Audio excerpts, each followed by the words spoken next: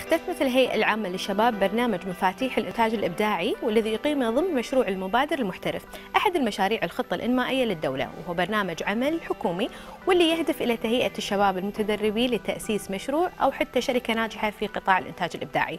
في الجلسة الختامية استعرض المشاركين مشاريعهم المميزة في مختلف المجالات وأكيد في حضور مدير عام هيئة الشباب الدكتور مشعل شاهين الربيع مختصين أيضا في مجال رياد الأعمال. اليوم بيكون معنا واحد من المتميزين اللي شاركوا في هذا البرنامج. علي مبارك مشارك في برنامج مفاتيح الإنتاج الإبداعي وأيضا محلل في المعادن الثمينة. حياك الله.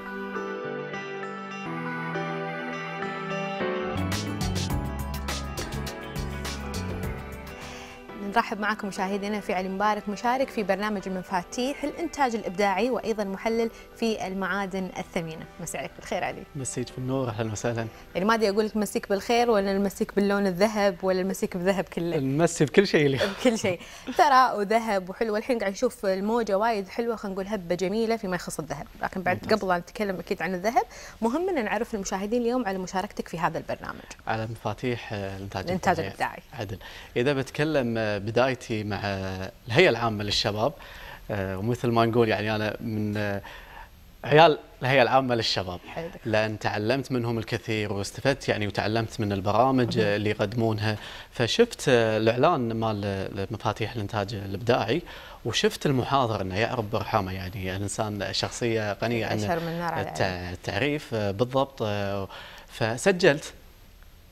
وقلت خلنا أشوف لأن أنا أساسا في بمخي مشروع آه، معين وشفت اللي بيقدم آه، خلينا نقول الدورة هذه شخصية يعني جدا ما شاء الله له باع طويل يعني في العمل والمشاريع فسجلت فيها. نعم. إيش كثر كان مدة البرنامج بالضبط؟ وشنو يقارب. تعلمتوا فيه؟ ممتاز. ما يقارب إلى ثلاث أسابيع. الحلو في آه، برنامج مفاتيح الإنتاج الإبداعي إن تعلمنا شلون نخلق مشروع من الأشياء اللي نحبها إحنا من داخلنا. إنه مو والله آه، أغصب نفسي على شيء لا لا مشروع. أنا أحبه آه، اطبقه وكله يكون منبثق من الأشياء اللي أنا أفضلها بحياتي. سواء موسيقى سواء آه، شيء أحبه عطر معين شلون أدمجه. في مشروعي ويصب في العمل اللي أنا أشتغل فيه وهو خلينا نقول الشغف اللي موجود داخلك. يعني تعلمنا في هذا البرنامج إن شلون نطلع الشغف اللي داخلنا. نعم. آه علي ما شاء الله لما يكون في برنامج مثلا مدته طويلة آه، فوق ال- الأسبوعين يكون أكيد في معلومات وايد وبعض المعلومات يمكن ان تسهى أو إن أنت ما تركز معاها وفي معلومات تركز وتحس إن أنت فعلا دشيت هذا البرنامج واستفدت منه.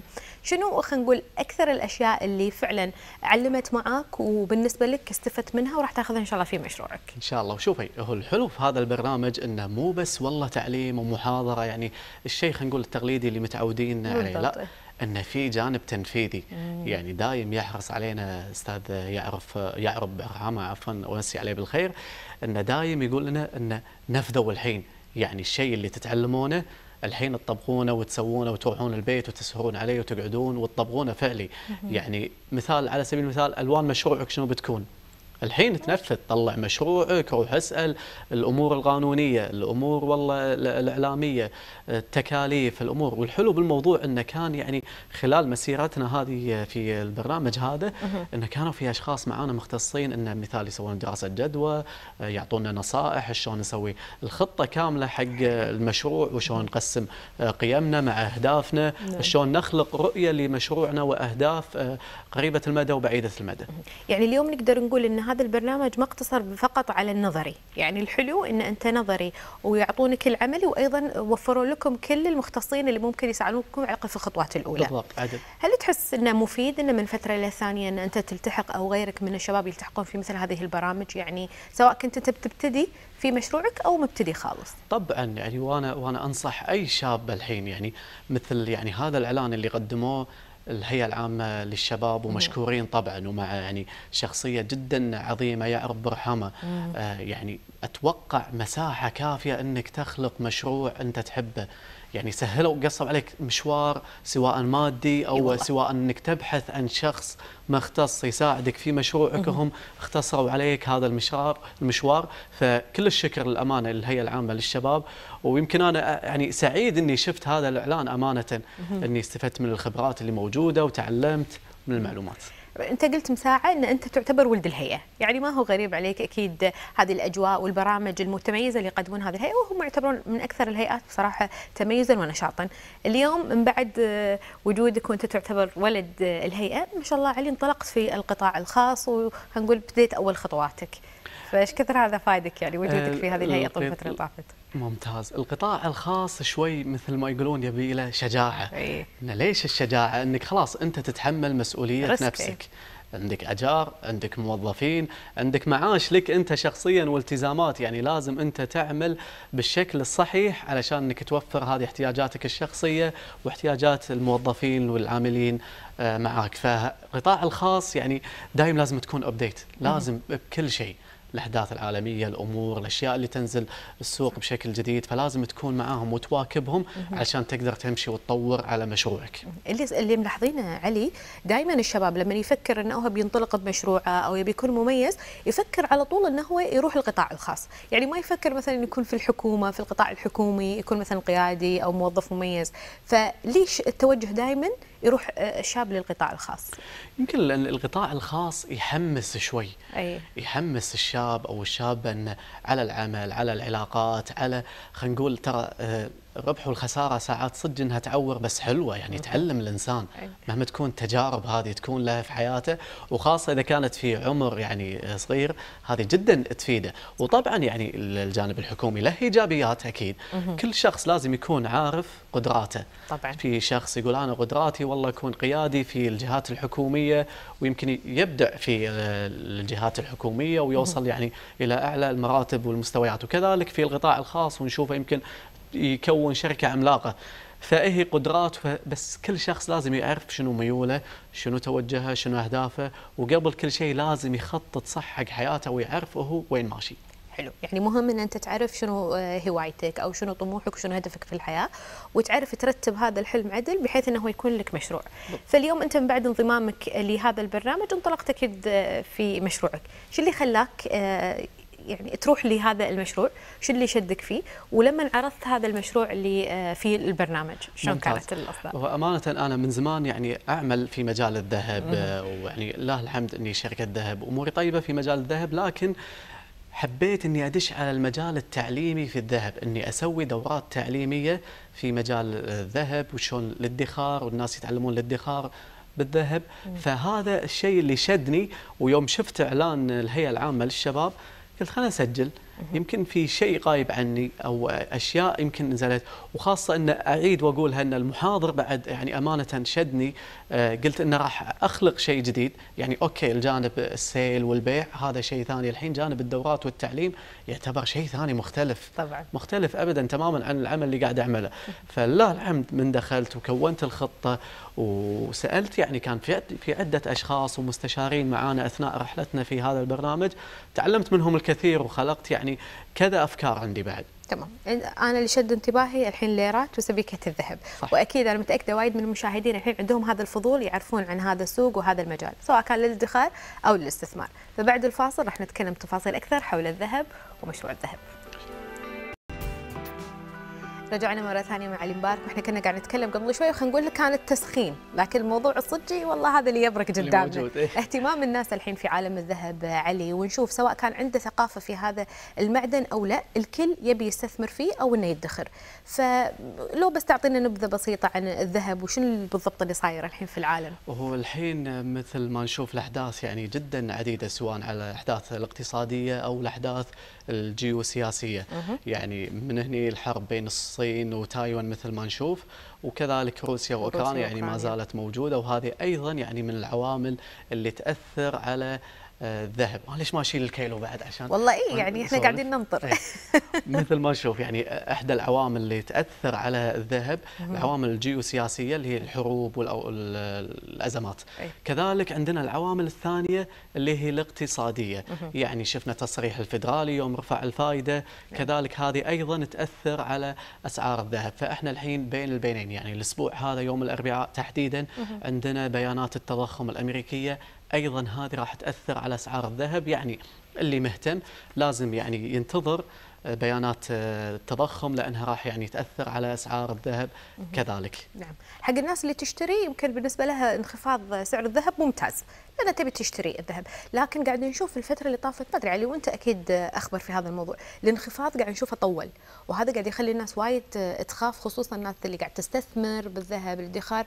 تقول لك هل هذا مؤشر يعني سيء بالنسبة حق الذهب؟ هل الانخفاض راح يستمر ويصير في خسائر؟ شوفي هي أعظم نصيحة حق اللي بيدخر ما يهمه إذا صاعد ذهب أو نازل لأن هي هذه الفلوس تكون فايضة عن الحاجة مم. فإذا اشترى فيها ذهب وخلاها بالذهب يعني إذا بنرجع للشارت أنا أمانة مو موجود عندي يعني ما عرضته اليوم مم. إذا بنرجع للشارت دائما الذهب بصعود نعم. يعني إذا بنرجع قبل تقريبا خلينا نقول أربع سنوات إلى ثلاث سنوات كان الكيلو يعني مو نفس سعره الحين، الحين نتكلم في أزمة روسيا وأوكرانيا وصل إلى 20 تقريبا 20000 في أزمة آه، آه، كورونا وصل إلى 20000 دينار كويتي يعني هذا الحين 20000 الحين ب 17000 وكسور تمام. حلوي. لكن بكورونا وصل 20000 أيه. فاللي يبي يدخر ما يكون هامة. يعني أنا أعرف ناس شخصيا بعز كورونا تمام. يعني واصل كيلو 20000 اشتروا.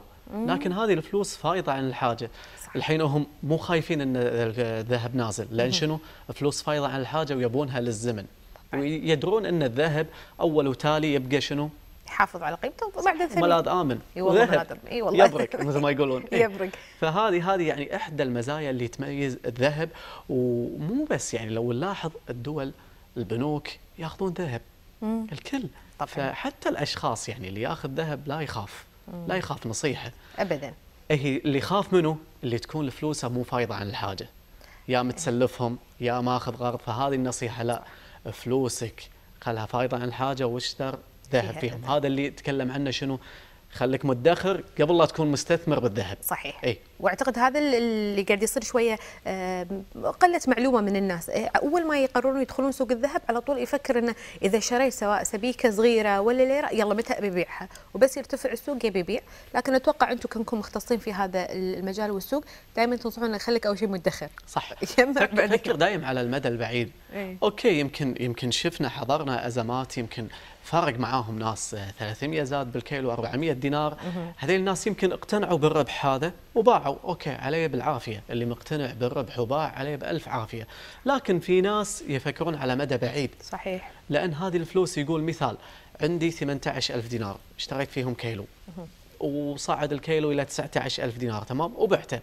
يعني ربحه 1000 وباقي المبلغ موجود عنده. شنو بيسوي فيه؟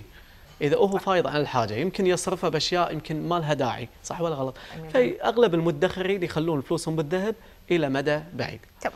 إحنا شفنا هذا اليبرق الذهبي وجميل ولا محبينه وسوقه والناس تعشقه. لكن شوف في هم فريق ثاني وما أدري إذا هو مظلوم ولا مهضوم حقه بصراحة لا الفضة. لا لا بالعكس. فشلون على موضوع مو الفضة؟ مو مظلوم. هذا مو كيلو مظلوم؟ كيلو الفضة. أيه. كيلو الفضة شوفي يعتبر بعد ادخار تمام؟ إن في ناس قاعد ياخذونه كادخار. والحلو فيه إن الفضة شنو؟ إنه كيلو كامل ب 250 دينار يعني سعرها الحالي والسعر متغير طبعا.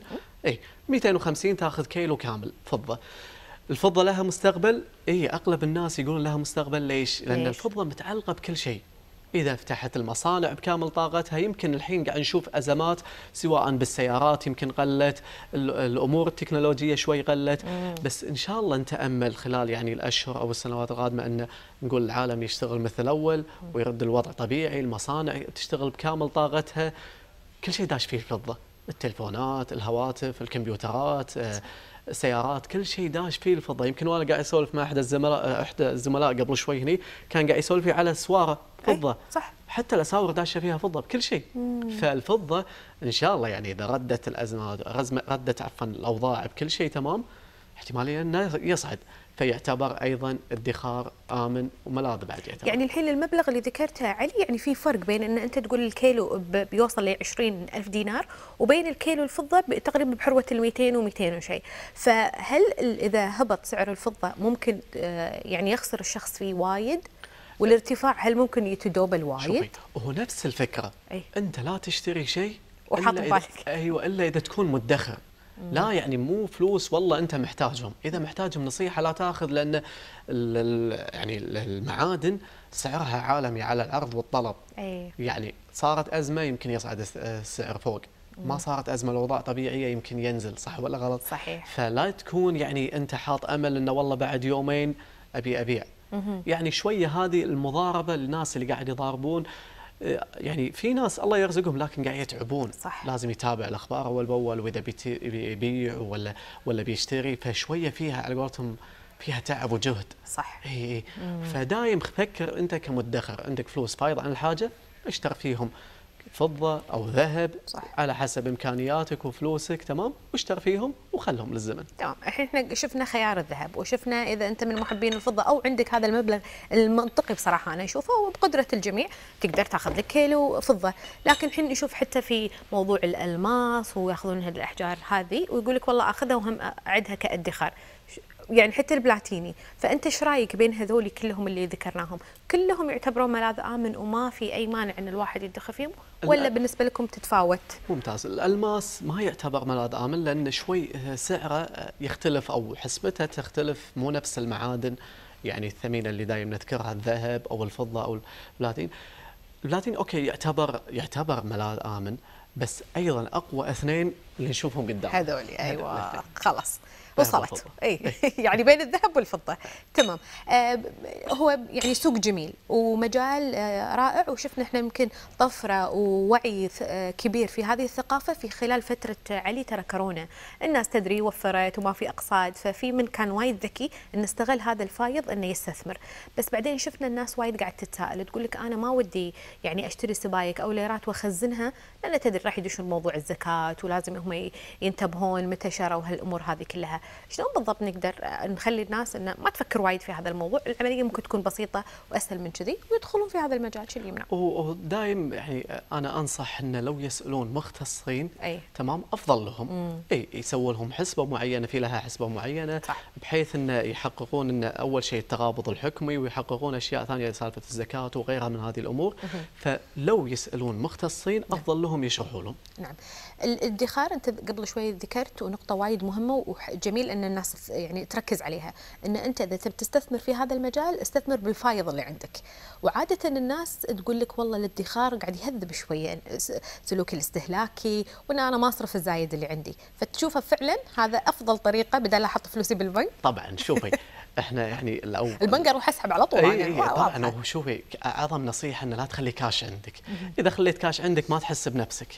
وخاصة يعني إحنا ما شاء الله نشوف الكافيهات بكل مكان وأنا طالع ما أحس بنفسي طلعت الكاش سوق السوق والله يذبح. اي أو السوق يعني وقت ما يسوون تنزيلات والأمور هذه أشياء تغري يعني الشخص أو خلينا نقول ال- المستهلك إنه ما يحس بنفسه ويشتري يعني أول ما ينزل معاشه يصرف فلوسه صح. فهني نرجع إن شنو؟ إن لازم أنت عارف احتياجاتك أول شيء طلع احتياجاتك كاملة من فاتورة تلفونك لقسط سيارتك أي شيء بنزينك اكتب لازم تكتب تعرف مصاريفك كلها. هني نرجع على موضوع تهذيب النفس. إذا علمت نفسك شلون تدخر أنت كل شهر تطلع المبلغ الفلاني أي. وتاخذ فيه مثال. هذه إحنا هذا ما راح تمام؟ نصرفهم، إي. تاخذ فيه ليرات وعلى حسب ميزانيتك. يعني في ناس يقولون إحنا بناخذ ليرات في ناس يقولون لا والله بناخذ إحنا آه، سبائك. فكل شخص وعلى حسب معاشه ويعني وضعه. فهني نرجع على موضوع آه، تهذيب النفس. آه، أنت إذا عرفت شلون تصرف فلوسك وين قاعد تحطهم أنت هني عرفت شلون تسيطر على نفسك. صح مو والله مع كل تنزيلات رحت شريت. okay في ساعات أشياء حلوة وأنت احتياج لك اشتر. أما في ساعات أشياء ما نحتاجها ناخذها ونخليها بالبيت. إي والله. اي بما نحط ماسك علي بيدك ال- الليرات، الليرات هم مجال مختلف تماما وقاعد نشوف اهتمام البنات خصوصا حتى ترى الصغار، قاعد نشوف ما شاء الله حتى البنت إذا كانت لا تزال طالبة أو معاشها يعني آه قليل تقول لك والله حتى لو بشتري، هل هذا بالنسبة لك آه يعني ما يمنع إن يكون ادخار؟ خصوصا في ليرات على 33 دينار وأنت صاعد عاد توصل صح. للأعلى، شوفي أنت فايش رأيك؟ اي قلتي تو حتى طلبة الجامعة لا حتى اللي أصغر من طلبة الجامعة اللي بالمتوسط والابتدائي الثانوي اللي اللي من اصغارهم عيالهم يعني نشوف هذه قدامنا حصالة الليرات إيه. طاحت الليرات تمام قلوبنا نشوف. يعني نلم وياك بعد. شوي. اي نشوف لو كل شهر أنت تاخذ ليرة وتحطها في الحصالة وتخليها. يعني إذا إذا في ناس يخصصون مبلغ حق عيالهم معين يكون تمام ويحطوا لهم ليرة كل شهر أمورهم طيبة تكون. الطلبة اللي في الجامعة كذلك اللي اللي يطلعون من إعانتهم وأمور خذ لك ليرة وخذ لك معاها حصالة. وخلها. أي. تمام؟ هي الحصالة فكرتها تشجيعية. إي والله. ذكرنا ترى بايام أول الحصالة وإحنا نجمع فيها صح. وآخر شيء ناخذ الفلوس ونصرف أو يعني نكيشها في البنك. بالضبط. إي فهذه الحصالة اللي بعد شنو؟ إن طلبة الجامعة اللي أصغر من طلبة الجامعة حتى الموظفين يمكن في موظف يقول أنا إمكانيتي 130 130 أخذ فيها ليرة. 120 تقريبا هذا ال range يعني. صحيح. أخذ فيها ليرة وسوي لك يعني مثل ما يقولون حصالة ذهب وحطها. في في من الأشياء اللي تعلمتها وسجلتها عندي في آه، برنامج آه، مفاتيح الإنتاج الإبداعي سميتها الحمية الذهبية. الحمية الذهبية. اي بس هذه الحمية يعني هذه المتعودين عليها الحمية شنو؟ تضعف إيه. لكن إحنا حميتنا ذهب يعني تمتن بذهب مثل ما يقولون. الله إي يعني. diet قصدك. الله عليك. خليك سو مثل يعني شلون برنامج عندك انت؟ انه والله أنا عارف كل أسبوع شنو مصاريفي وشنو اموري مثل يعني ال diet شلون انت شنو تاكل وشنو امورك. صح. سو لك خطة كاملة. وطلع مبلغ معين وادخر فيه بالليرات أو سبائك سلام. الله إن شاء الله يرزق الجميع علي. وإن شاء الله يا رب نشوف هذه الثقافة منتشرة بين الناس ونشوف الوعي الجميل قبل لا أختم معك علي إذا حاب توجه بس كلمة أخيرة أو رسالة حق كل من مهتم في هذا المجال وده يدش في مجال الذهب. آه، النصيحة الأخيرة أول نصيحة إذا بنتكلم عن الموضوع الأول تكلمنا فيه دائما أنصح أمانة الشباب يعني في المساحة موجودة بس تابعوا الجهات يعني الصح والأماكن الصح ودايم خلوكم يعني بحالة تعلم تعلموا. سواء في مجالكم أو مجال ثاني كله راح يضيف عليكم يكون محصول لكم في حياتكم وفي السي في مالكم. أما نصيحتي في الذهب ادخر بالذهب وأول ما تأخذ أول قطعة ذهب تمام؟ راح توصل إن شاء الله حق الكيلو. اللهم آمين. الله. يسمع إن شاء الله منك يا ربي. حوار جميل وممتع معك علي وعطيتنا دفعة جميلة إيجابية ونظرة مختلفة للتعامل مع المال. وفعلا أعتقد الإنسان الواعي راح يعرف شلون يتصرف في اموره المالية عدل ويستثمرها في المكان الصحيح. شرفنا يا علي. كل التوفيق لك.